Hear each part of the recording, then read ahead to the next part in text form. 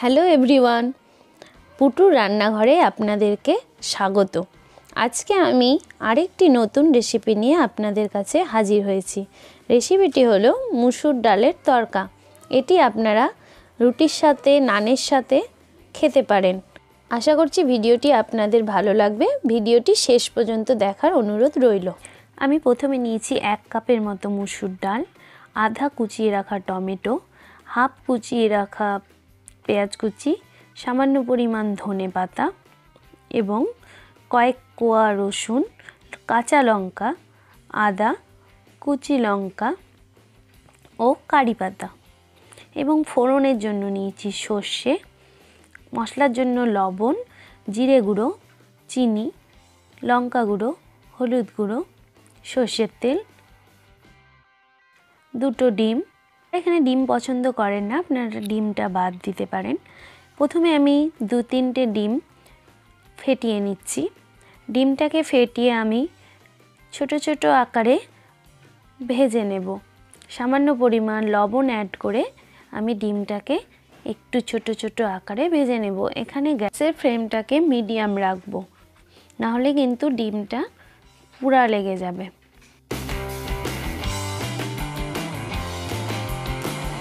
ডিমটা আমার ভাজা হয়ে গেছে।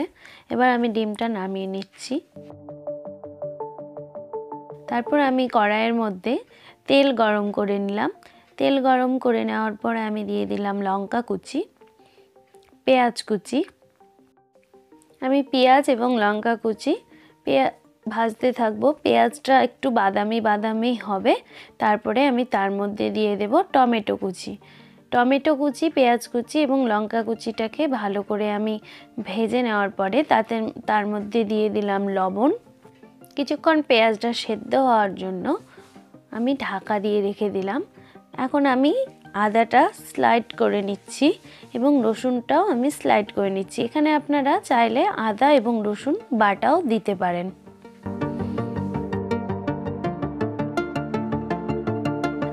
আমি আদা রসুন বাটা সেই মশলাটার মধ্যে দিয়ে দিলাম। এবার আমি সব আস্তে আস্তে ভাজতে থাকছি।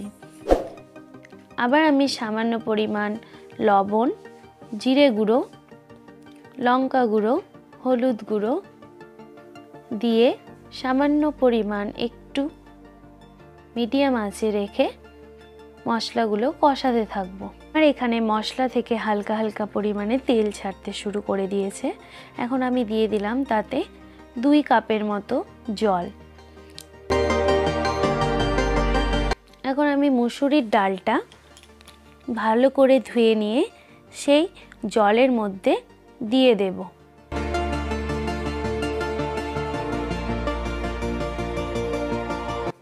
জলটা আমার হালকা গরম হয়ে গেছে। এখন আমি মুসুরির ডালটা জলের মধ্যে দিয়ে দিলাম। মুসুরির ডাল খুব কম সময়েই সেদ্ধ হয়ে যায়, তাই দশ মিনিট হালকা আছে আমি মুসুরির ডালটাকে ঢাকা দিয়ে সেদ্ধ করে নিলাম। দেখুন এখানে আমার মুসুরির ডালটা প্রায় সেদ্ধ হয়ে এসেছে, জলটাও কিন্তু আমার টেনে গেছে।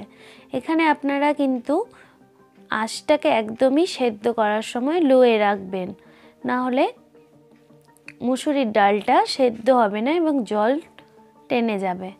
এখন আমি উপরে ফোড়নের জন্য সর্ষা এবং কাঁচা লঙ্কা, কয়েকটা কারি পাতা ফোড়নের জন্য ভেজে রাখলাম এবং ভেজে রাখা ডিমটা আমি তরকার ডালের মধ্যে অ্যাড করে দিলাম।